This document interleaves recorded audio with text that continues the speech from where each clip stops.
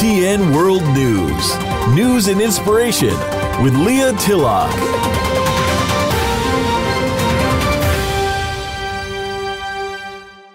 Hello and welcome to ATN World News. I'm Leah, and it's great to be with you, the listeners all around the world. Today, we really, truly do have a legendary CCM artist, Bryan Duncan. And before I uh, introduce you to Bryan, I'd like to give you a little mini bio. Uh, Bryan truly has been one of the defining voices of contemporary Christian music for several decades. He began his trailblazing career as a member of the Sweet Comfort Band. That was in the 70s. And that was before embarking on a really successful solo career. Bryan has released uh, around 20 albums, selling more than a million and having more than a dozen number one hits like Love You With All My Heart, that's my favorite, Traces of Heaven, United We Stand, uh, You Don't Leave Me Lonely. Uh, he is a four-time Dove Award recipient and multiple nominee, and he also hosts a weekly radio program called Radio Rehab, which is a mix of music and personal insights, and it's really touching and impacting lives. With that, I'd like to say good afternoon, Bryan. Okay, it's good morning in my neighborhood. I'm on the West Coast. yeah, you're on the west, you know, I'm on the east, and so I'll say good morning then. And uh, Bryan, you know, what a what a deep, deep contribution of CCM music and ministering um, for for the past few few decades. And uh, for those of you, maybe younger people who haven't connected to Bryan's music, look it up on YouTube. His voice is stunning. Um, he has such a, a range; it's just a step above. Uh, his voice is incredible. His talent is incredible. Um, tell us something, Bryan. I, I want to go a little bit and span your amazing uh, lifetime and career. So, did you start off with the Sweet uh, Comfort Band in the 70s, or had you been singing before then, or what, what's the story there? Well, I started writing and singing probably when I was 16, and it was mostly because I couldn't play anybody else's music, so I would make stuff up I met uh, bass player and drummer at in the at the height of the Jesus movement in Southern California. I I left home and went to the. I used to be in North Carolina, and I got kicked out of college because they said I wasn't missionary material. and I've been quirky ever since. But I came out to uh, to California to see what was going on there because they were they were playing music out here that that wasn't like anything we'd heard in the past. Uh, it wasn't traditional religious uh, sounding stuff, and I was really interested in, in doing something that hadn't been done four thousand times, and I still am, by the way. That shows. It really does. I think you're very unique. I think people would find that, and that's always refreshing because uh, God likes originals. He's, he's made us each an original and not to be a copy the Sweet Comfort Band really um, broke ground, uh, had a tremendous uh, impact. People, like I said, look it up on, on YouTube and check it out. His talent continued on with a, with a stunning solo career. Uh, when you started going uh, solo, uh, Bryan, what were some of the things that was going through your mind and heart that you wanted to accomplish in this walk with God uh, in your solo uh, career? Well, first of all, there's an assumption that I, you know, was walking so close to God that I knew where I was going. I quit the band just because I wanted out. Uh, you know, it it got to a point where it was predictable, and um, there were certain things. You know, I was 30 years old when I left the band, and I wasn't making a living.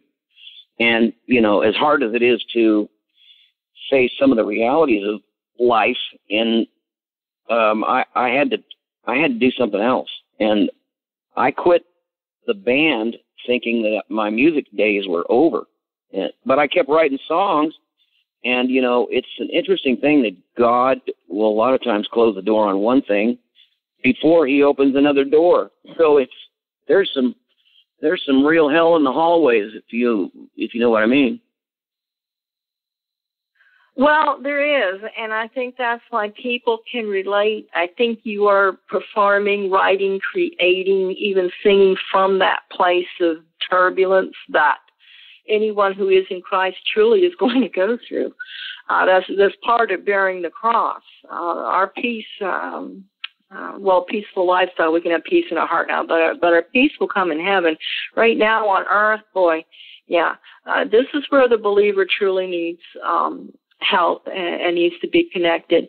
Um, you know, there, there's like 10 different thoughts going through my mind right now. You, you said you weren't necessarily uh, looking to, to do a solo. You thought it had ended, but you did go into solo and it was extremely successful. What was going through your head? Well, you know, my whole life has just about, has been about where does God want me to go and what does he want me to do? And you know, he doesn't give you very much of the details on the future. You know, I read Oswald Chambers all the time as a devotional, and he he was talking this morning about um, how following the purposes of God become more and more vague as he teaches you to be obedient in a moment. And uh, man, I I had no plan.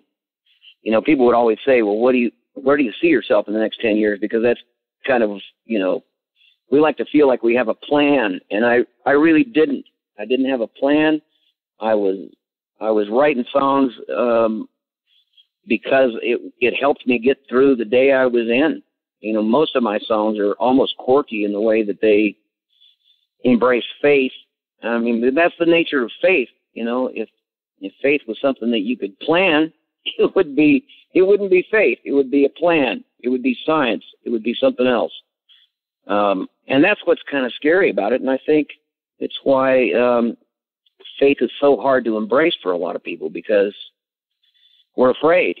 We're afraid of the future and uncertainty. And, you know, check the stock market. They freak out every time something happens that they don't know what the end of is going to be.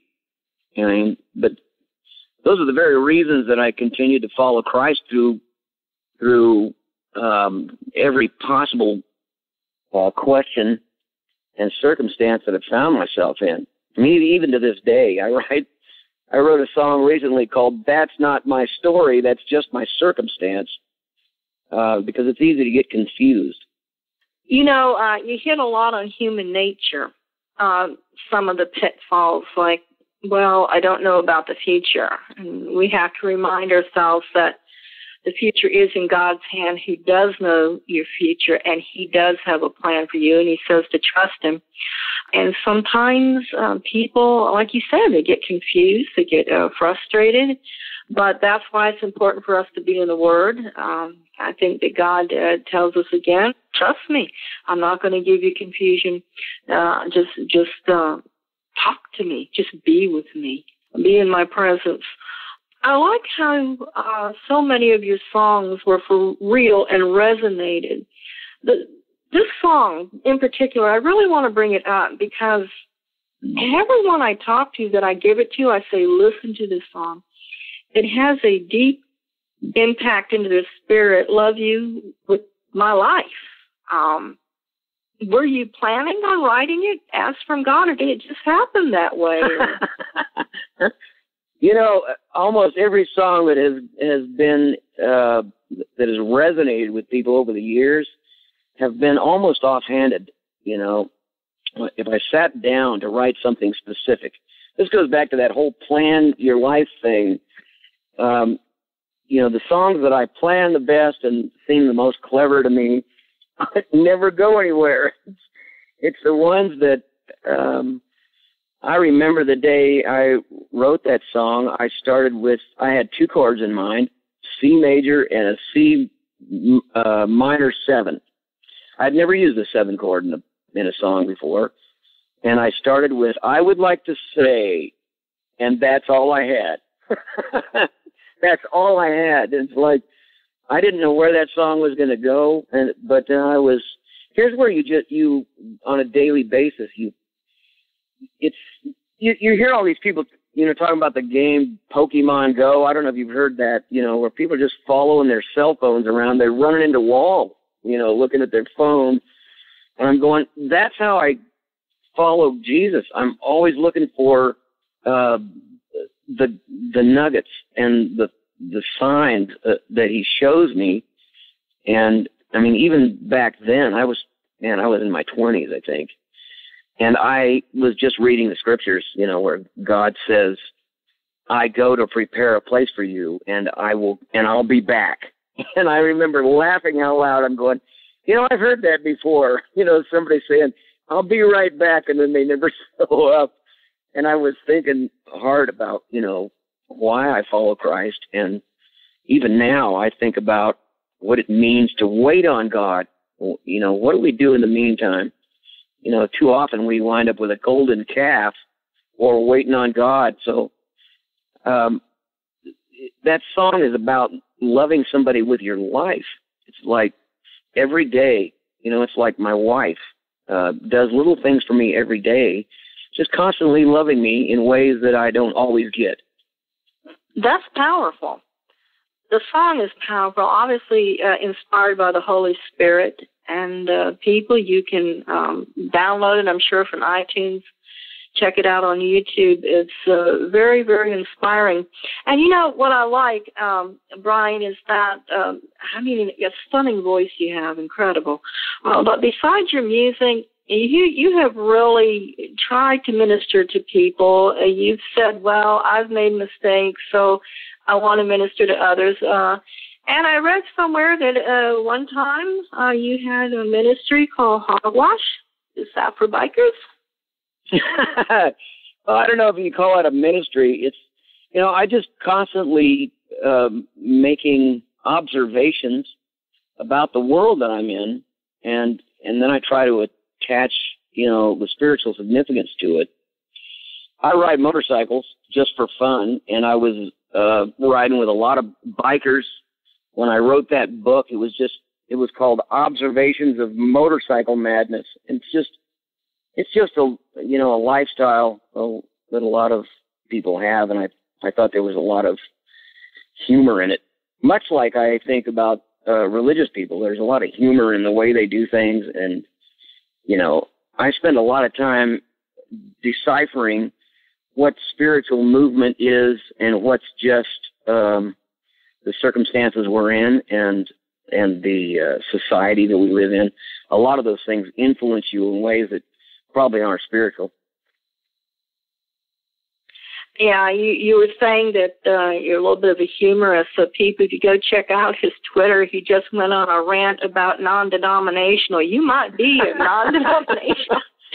and the, the thing that cracked me up was it's like he said, well, if the drummer's in a fish tank, you know, you may be yeah. going to a non-denominational there there was a whole list of them and he does find the humor in things. And i think that you would find his twitter very entertaining. Which in a good way. One thing that i'm very impressed with uh, because uh, i've been listening um, uh, since i knew we were having this interview to your radio rehab uh, broadcast or podcast and it's a mix of music and your own personal insights. I think this is really exciting what you're doing uh, right now with this. Can you tell our listeners a little bit more about it? Radio rehab was something that I uh, did in a pursuit of um, recovering from addiction. I mean, here's the ironic thing: is that people assume that once you find Christ, you don't find any other things to lean on. And, you know, it was to my chagrin and surprise that even after knowing Christ, I still leaned on other things to make me feel good, you know, because God will leave you hanging, you know, on faith alone. And, you know, it's like I tell people, you know, with addiction problems, um, that it's, tr- it's like trying to get a cat off a curtain. You know, it, we have a, a, an, a built-in ability to just reach for something that that gives us a sense of stability, and nothing that we that we reach for usually uh, does anything short of you know digging us into a deeper hole. So, I mean, radio rehab was born out of my own uh, misconceptions and my own um, the the things that I excused in my life as well. This doesn't count.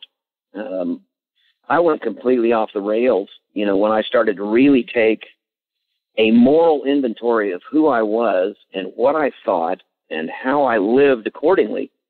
Because I mean, the way we act is what we really believe. I mean, and you start looking at your your life and go, why do I do this behavior? Why is this what what I've chosen? And a lot of that is comes from a mistrust of God and a, and a maybe a misunderstanding of how God can deliver you. I mean, uh, it goes back to that waiting on God thing. It's like, you know, I'll build a golden calf while I'm waiting because it's been a long time. The next thing you know, you you've established a whole different kind of idol worship. And that's that's very um, keen and accurate insight. Uh, and and people, you can download this from our iTunes ATN World News, where we will have it posted. If you want to share this message with other uh, people, because that was very insightful. Uh, one uh, radio uh, rehab one that I listened to, and you had some good insights on it, was pain. And you know, a lot of believers are, are going through extra pain in this generation uh, with the, the things that have come upon the earth and, and things that they're dealing with. What would you uh, advise uh, somebody who's dealing with pain? Like, don't build a golden calf with it, but rather, what? How do they handle their pain? What do they do? Wow, good good question. I don't think there's a quick answer for that. You know, I mean, this there's a lot of people getting really wealthy, you know, making pain relievers.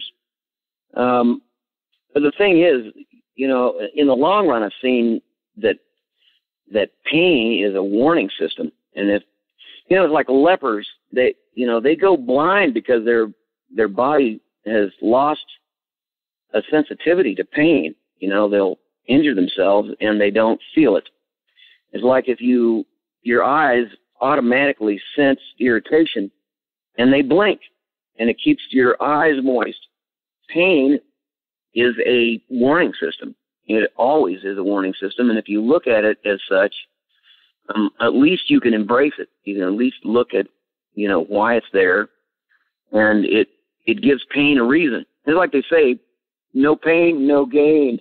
It's like, at first you have to kind of embrace the, you know, what's hurting you. And you know, this is still part of my daily life. You know, I one of the assumptions I had about Christianity in the early days was that it would be pain free, and that you know, if I was really a Christian, that I wouldn't have any problems, and nothing could be farther from the truth. Because you will have trouble in this life. It's right there in bold print in my Bible. Uh, you know, after I stopped taking a flare tip to scriptures I didn't like, I hope you listened to what uh, Bryan just said.